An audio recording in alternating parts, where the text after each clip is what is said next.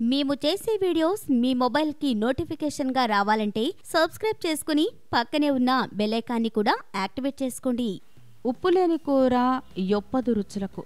పప్పు లేని తిండి ఫలము లేదు. అప్పు లేని వాడే ఎదక సంపన్నుడు. విశ్వదాభిరామ వినురవేమ. దేన్నైనా అతిగా తినడం ఎప్పుడు అనర్థదాయకమే ఇది ఉప్పుకు కూడా వర్తిస్తుంది. అందుకే ఉప్పును హిమశత్రువుగా పేర్కొంటారు. ప్రతి వంటకానికి రుచిని తెప్పించి నాలుకని ఆకర్షించి మనిషిని తనకు బానిసగా మార్చే శక్తి ఉప్పుకుంది. దీనినే సోడియం క్లోరైడ్ అంటారు. ముఖ్యంగా మనం పడుకునే విధానాల వల్ల స్వతసిద్ధమైన పరిమాణాలు తయారవుతాయి.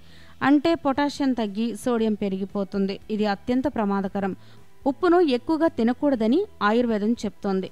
ప్రస్తుతం ప్రపంచ ఆరోగ్య సంస్థ వారి సూచన ప్రకారం ఒక వ్యక్తి రోజుకు మూడు నుంచి ఐదు గ్రాముల ఉప్పు తింటే సరిపోతుంది. కానీ మనం రోజుకు పదిహేను నుంచి ఇరవై గ్రాములు సేవిస్తున్నాం. ఇలా తినడం రోగాలకు దారితీస్తుంది. అలాగే కలిగే నష్టాలేంటో ఓసారి పరిశీలిద్దాం. ఉప్పును అతిగా సేవిస్తే రక్తస్రావం పెరుగుతుంది దాహం పెరుగుతుంది బలం నశిస్తుంది. దంతాల సందుల్లో వాపు వస్తుంది జుట్టు నెరుస్తుంది బట్టతల వస్తుంది. చర్మంలో ముడతలు ఇంకా ఇతర చర్మ వికారాలు కలుగుతాయి.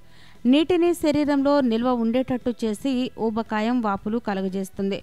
రక్తనాళాల లోపలి పొరను గట్టిపరచి రక్త ప్రసరణకు అవరోధం కలిగించి బీపీని పెంచుతుంది. తద్వారా పక్షవాతం గుండెపోటు కీళ్ళవాపులు వచ్చే అవకాశం ఉంటుంది. రుచుల కోసం పాకులాడితే వచ్చే రోగాలను రుచి రోగాలు అంటారు. ఇది అనర్థదాయకం